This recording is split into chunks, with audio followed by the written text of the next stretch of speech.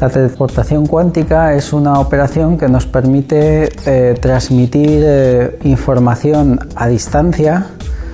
empleando o aprovechando unas propiedades que se llaman propiedades de correlación. Lo que se suele hacer es utilizar lo que se llama en mecánica cuántica un conjunto de estados que están correlacionados, se distribuyen entre los dos extremos de la comunicación. Si yo soy uno de esos extremos y luego quiero transmitir un, un bit de información, un estado de información, lo mezclo con mi estado, pero como ese estado que yo me he quedado está correlacionado con el del destino, una vez que yo modifico ese, el estado mío por combinación, el del destinatario también se cambia automáticamente, instantáneamente. Los campos eh, que pueden beneficiarse de la teleportación cuántica son lógicamente las comunicaciones seguras, por supuesto, porque evidentemente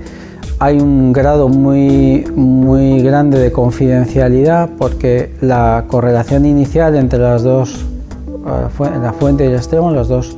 integrantes de la comunicación, eh, no puede averiguarse una vez que ya se ha distribuido. Por ejemplo, eh, para hacer una comunicación segura eh, utilizando teleportación cuántica, una de las posibilidades es utilizar un agente intermedio, por ejemplo, si estamos entre los dos extremos, ese agente intermedio